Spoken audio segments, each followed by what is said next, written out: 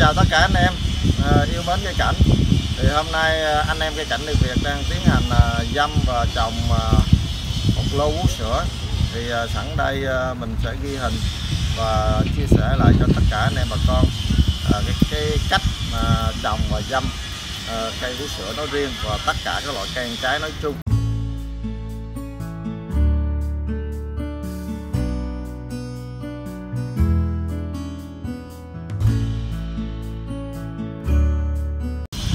Để tiến hành à, dăm cũng như trồng các loại cây ăn trái thì à, bước đầu tiên là anh em phải chuẩn bị cái chất trồng thì ở đây á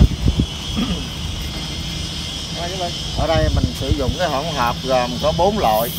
Thứ nhất là sơ dừa à, 3 phần sơ dừa à, 3 phần cát à, 2 phần đất và hai phần chấu sống thì cái hỗn hợp này gồm bốn loại với nhau mình sẽ trộn lại. Thì à, đất ở đây là mình sử dụng là đất đen đất mặt ruộng hoặc là đất phù sa đất đỏ ba gian thì uh, hoặc là những cái vùng những cái loại đất mà ở vùng của mình đang có ha. Thì uh, mình chọn.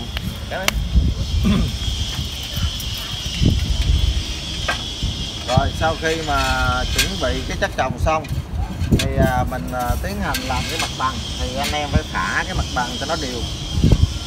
Nó phải đều như thế này. Ha. rồi sau khi mà phả cái mặt bằng đều á thì mình sẽ sử dụng cái chất trồng này nè. Mình sẽ đổ lên một lớp dày 30 cm rồi sau đó mình mới tiến hành là mình đặt cây lên. Thì sau khi đặt cây á, là anh em canh chỉnh hướng à, cho nó thẳng như thế này cây như thế này.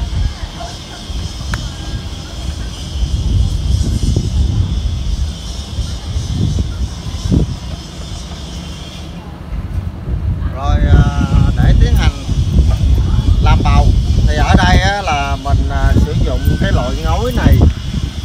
Cái ngói này là ngói à, phan thanh giảng mà dùng để mình lập nhà đó. Thì ở đây do nhu cầu của khách hàng yêu cầu là mình sử dụng cái ngói mới còn anh em có thể tìm mua những cái loại ờ, ngói mà ngói cũ á ngói mà của những cái ờ, nhà mà hồi xưa đó thì ờ, hai tầm 20 30 năm á, thì vẫn sử dụng rất là tốt.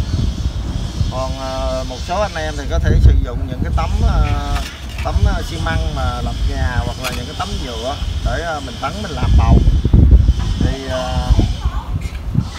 tùy theo cái mục đích nhu cầu của cái loại một cái loại để mình làm. Thì hôm nay mình sẽ chia sẻ cái cách làm ngói, dùng ngói để làm bầu. Thì tùy theo cái cây à, cái cây của mình to hay nhỏ, thì à, mình sẽ chọn cái đường kính của cái bầu là bao nhiêu. Thì à, ở đây đối với cây vú sữa này là hoành một mét bảy. Thì ở đây mình làm cái bầu này là, đường kính cái bầu này là hai mét bảy. Đường kính bầu 27 ha để ờ, để làm cái ngói này nó đẹp á. Điều kiện đầu tiên á, là anh em phải phả bằng cái mặt bằng. Tại vì cái mặt bằng mà không đều á là khi mình đặt ngói lên nó sẽ lên xuống nhấp nhô á, thì nhìn rất là xấu. Thì ờ, khi, khi phả mặt bằng đều á, thì anh em đi đi ngói ha. Ở đây nè.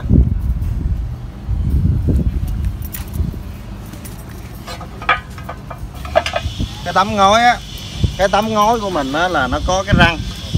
Răng đắp mí nè. Đó như thế này. Anh em có thể đi bo và đi thẳng đều được ha. Ở đây thì mình đi bo khi mình à, khi mình đặt lên như thế này. Thì cái tấm à, thứ hai á là nó như thế này. Nó ôm vô răng. Đó như thế này. Đó ha. Thì sau khi mình làm á thì à, khi mình vô á, thì mình phải sử dụng cái cái cái, cái chất trồng của mình nè để mình tắn cái bên trong á để cho tấm ngói nó không có ngã. Và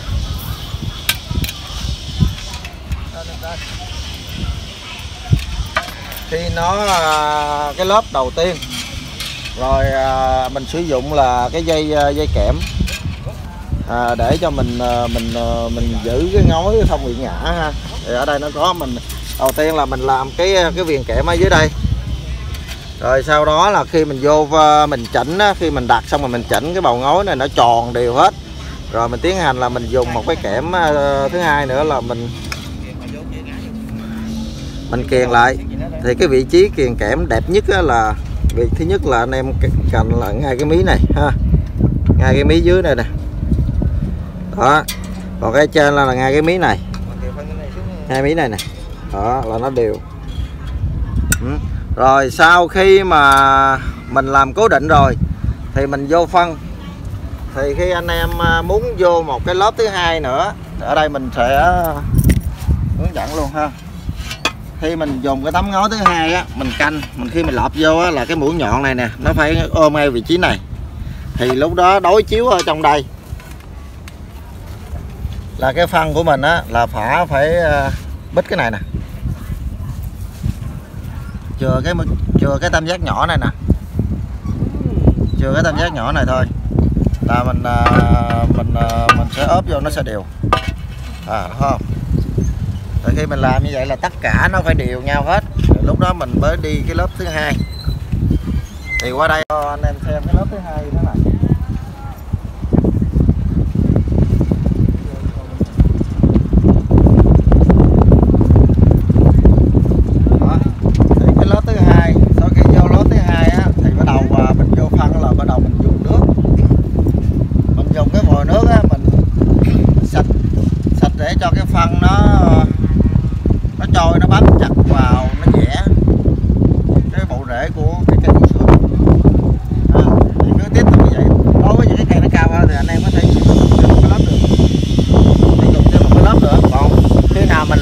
mà bằng tới cái mặt rễ rồi thì thôi mình dừng thì uh, khi mà sử dụng á, nếu anh em sử dụng cái lớp thứ ba thì mình tiếp tục là mình làm cái kẽm ở đây một vòng nữa. Còn nếu như mình làm hai lớp thì lớp trên đây không cần không cần kẽm. Đó. Bây giờ ở đây anh em đang chuẩn bị làm cái lớp thứ hai nè anh em có thể uh, tham quan luôn ha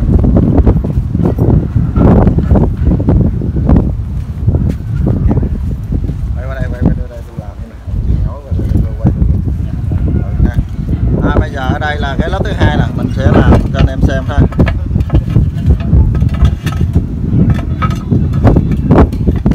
cao quá rồi ok à, thì ở đây nó có hộp răng là rất là dễ đường ngói đưa ngói đưa đưa ngói lên tay phải bằng cái đó đi quang qua đây chị ngói anh rồi đó ngói qua ơi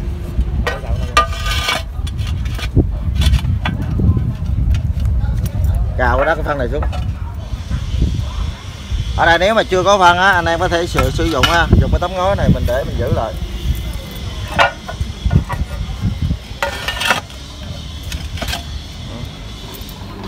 Nó rất là nhanh nếu anh em làm quen rất là nhanh. À, chưa có phân thì mình cứ lấy một tấm là mình, mình để đây chịu đó vậy đó. Xong mình cào phân xuống đó, là để nó tấm ngói ra qua bên kia cào phân xuống. Thì tấm ngói muốn đẹp á, là khi mình đưa lên nó phải thẳng thẳng từ trên dưới. Cạo đại phân ra. Bỏ lên. Gần qua đây.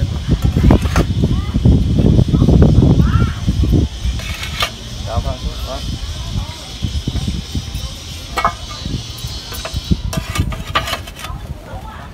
cạo đi. Cạo, cạo phân nhanh xuống đi. Cạo luôn quay quay quay clip cho mạnh nhất đưa lên tấm ngói nó thẳng là nó khớp những cái vị trí này nó khớp với nhau là nó sẽ đều, nó không lên, không xuống. Muốn làm được cái điều này là phải có một người, ha? Một người là mình ờ, ép chặt phân cùng cái độ cao. Thì khi mình đưa ngói vô rất là nhanh. Tiên phân đổ vô, tiên đổ vô.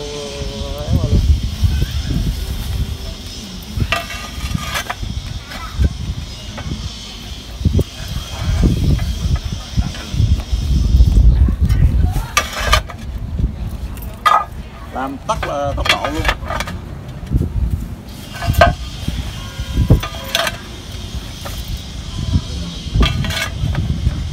Khi mà làm quen là rất là nhanh. Còn nếu mà mình chưa làm mà nói chung cũng khó làm chứ không dễ đâu.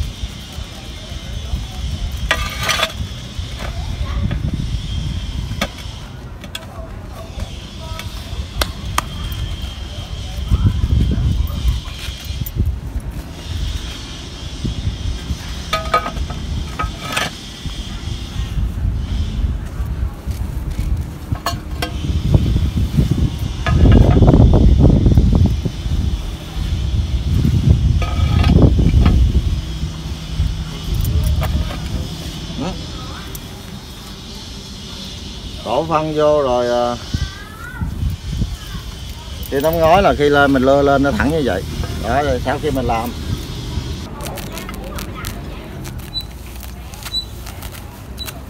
rồi sau khi mình đi ngói mình vô phân xong rồi đầu mình sẽ chỉnh lại chỉnh lại cái độ à, độ cao độ thấp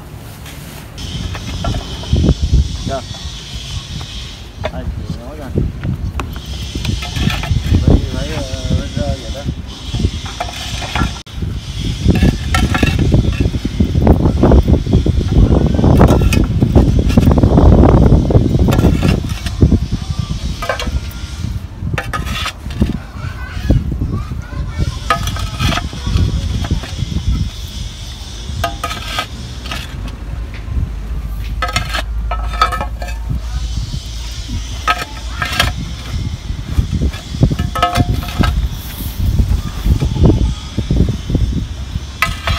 rồi ở đây nó có một cái lưu ý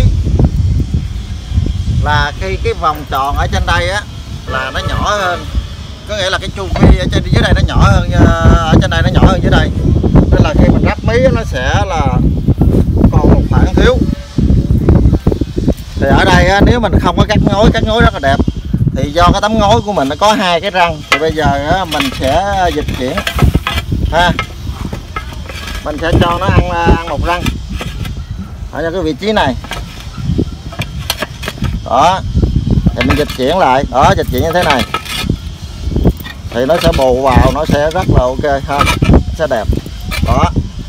Rồi, xong vô khoan ém lại. Rồi, vô phân đi. Đó, như vậy là cuối cùng là nó vẫn tiếp tiếp tiếp giáp hết. Rồi sau khi mà vô phân rồi đầu mình sẽ chỉnh lại cái độ à, độ cao của những cái tấm ngói này nè. Đảm bảo là nó phải thẳng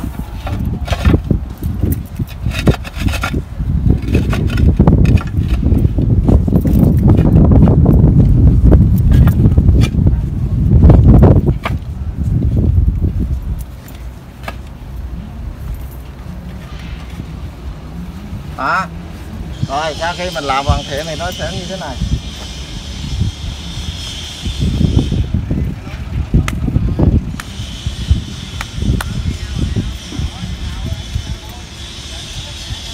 Ừ, sau khi hoàn thiện thì à, chúng ta sẽ có được một cái à, bầu cây vừa dâm và vừa nuôi luôn. Thì à, trong quá trình nuôi, ví dụ như sau 2 năm 3 năm thì mình sử dụng phân phân phân vô cơ hoặc là phân hữu cơ, mình bón vào để cho cây nó tốt, mình nuôi cây. Có cái lượng bào à, phân đất như thế này là đủ để nuôi cây trong một thời gian dài.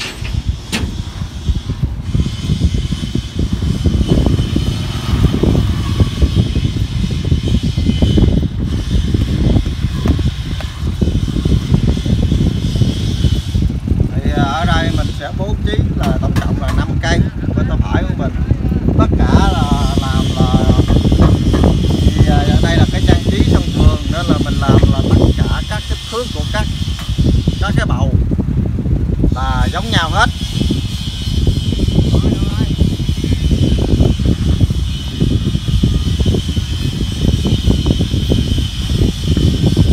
Thì,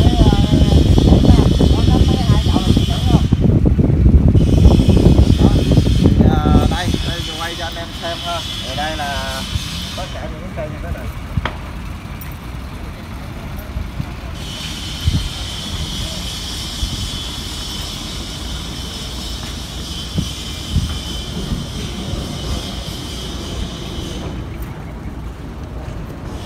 là gạch ống cũng có thể làm được nhưng mà gạch ống á, thì làm là nếu mà xây á, là nó tốn công và nó tốn phần chi phí sau này á, mà cây nó ra rễ á, là mình phải đập phá thì ờ, nó không sử dụng lại.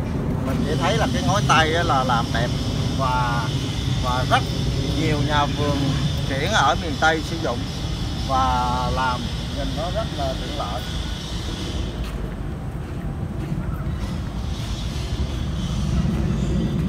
Rồi bên đây là mình sẽ bố trí bên đây là 6 cây. Đó. Đó, anh em xem là rất là đẹp. Sau khi mà là làm bầu xong thì ờ, chúng ta dùng cái máy bơm á cũng để ta bơm nước vào. Thì ờ, bơm ờ, chặt để cho cái chất trồng của mình á là nó dẻ nó bám vào tất cả các khe của rễ của cây vú sữa cũng như là cũng như là những cái loại cây ăn trái khác. Rồi á, thì ngày hôm sau thì mình à, sử dụng cái thuốc kích rễ mình à, pha mình tưới cũng giống như là tưới trên cây mai vàng. Còn à, phun thân á thì à, anh em cũng phải một ngày là anh em phải phun kỹ á, là anh em phải phun 4 lần. Nếu mà trường hợp trời nắng như hôm nay và thậm chí là mình sẽ dùng lưới lan á, là mình à, che từ trên phủ phủ xuống luôn. Cho đến khi nào mà cây vú sữa mà nó nó ra cái bộ lá đó và nó phát mạnh là mình phải tháo những cái trường hợp thời tiết bây giờ ngày càng nắng nóng á, thì nó ảnh hưởng đến cây và cây nó không có bơm nước kịp lên nó dễ bị tuột lắm. Và một cái điểm lưu ý ở đây á, là khi trồng vú sữa đó những đối với những cái cây bứng á, mà anh em trồng mà bộ rễ mà nó bị ngọt á là hầu như là 10 cây chết đủ 10 cây luôn. Nên là khi anh em lưu ý là trồng là cái bộ rễ của mình á là phải để cho nó thở để cho nó nổi ở trên anh em mà đào có lỗ mà đem trồng xuống á, là cây rất là dễ chết nó ngọt. Và cây nó đi. À, đối với những cái loại cây cổ thụ á à, thì đặc biệt là cái cây vú sữa này á, thì thường thường nó rơi vào 2 đến 3 tháng nó mới bắt đầu nó ra cái chồi lá. Mà khi nó ra cái chồi lá đó thì chính là cái dựa của cây thôi. Còn cái bộ rễ của nó cũng đang trong cái quá trình nó ra. Nếu như mà anh em á mà trong vòng 6 tháng mà anh em mà nhổ cây mà di chuyển á, là rất là dễ bị ảnh hưởng. Nên á, đối với những vú vú loại vú sữa hộp như thế này á, thì nó mạnh ra vú sữa nhánh. Vú sữa hộp thì tầm khoảng 8 tháng cho đi là mình có thể bán được và mình có thể di chuyển được. Còn vú sữa nhánh á, là anh em phải tuyệt đối là phải trên một năm. Nghĩa là cái nhánh của mình á, là nó ra ít nhất là phải dài một mét thì lúc đó là cái quá trình di chuyển mình đó là là mới không sao chứ còn không là đa phần là nhiều anh em là mua vú sữa đó. Mình mua về mình chơi á thì nhiều cái nhà vườn người ta tâm lý người ta bán người ta cần tiền mà đem về hay trồng là bị chết là lý do đó. Có nghĩa là bộ rễ nó chưa có mạnh nó còn rất là non. Thì khi mình đem về mình trồng á, là khoảng mấy tháng sau là nó là đó là lý do sao cây vú sữa nó chết còn không á, là mình mua á, là mua từ lúc mà bứng cái cây phôi như thế này. Rồi về mình trồng mình dâm thì khoảng 3 tháng sau nó ra lá từ từ 6 tháng là nó mới đẹp. Đây cũng là cái ờ, gọi là cái sân vườn mô hình để mà dâm cây ăn trái bóng mát để nói chung là để giữ đất và tạo cho cái không gian nó đẹp và vừa có trái để ăn. Thông qua cái clip này á, thì anh em lưu ý một số ờ, vấn đề như thế này. Và cây đối với cây vú sữa là quá trình mà ứng mà trồng á, thì thường là khoảng là rơi từ 3 ngày cho đến 10 ngày là trong cái quá trình bứng này nọ. Thì à, mình về mình trồng. Rồi khi trồng á là không được là làm cái bộ rễ của cây nó bị à, ngọt là hai. Rồi, cái thứ ba là sử dụng cái chất trồng phù hợp để vừa dâm hay là nuôi mình xác định được thì mình sẽ chọn cái chất trồng cho nó phù hợp. Thì ở đây là mình vừa chăm và mình vừa nuôi luôn nên là cái chất trồng của mình nó gồm có, có đất và cát. Còn thường á, là nếu mình chăm á, thì mình chỉ cần xây dừa cho sống và cát thôi là mình chăm là ok. Nhưng ở đây ờ, do mình nuôi tính cái đường lâu dài thì mình phải ờ, có đất. Đó thì ờ, cây thì muốn nó ra rễ thì mình phải sử dụng cái thuốc kích rễ để hỗ trợ cho cây trong cái giai đoạn mà mình bứng về thì nó mất rễ đó. Mình phải tưới thì chu kỳ là tưới cũng là 7 ngày. Ha, mình tưới một lần. Tưới xuyên suốt khoảng 3 tháng. Cho đến khi mà cái cây mình nó bung lá rồi rễ nó ra thì lúc đó là mình cũng sử dụng thêm nữa. Mình ngưng mình sử dụng cái thuốc dưỡng rễ để mình tưới để giúp cho cái bộ rễ của nó mập và nó nó mạnh lên nó già đi. Thì lúc đó là cái cây của mình nó sẽ rút ngắn lại cái thời gian mà mà dâm để mình có thể ờ, bán ra thị trường nhanh hơn để mình thu hồi vốn. Thì ờ, chúng tôi cũng xin ờ, chúc tất cả anh em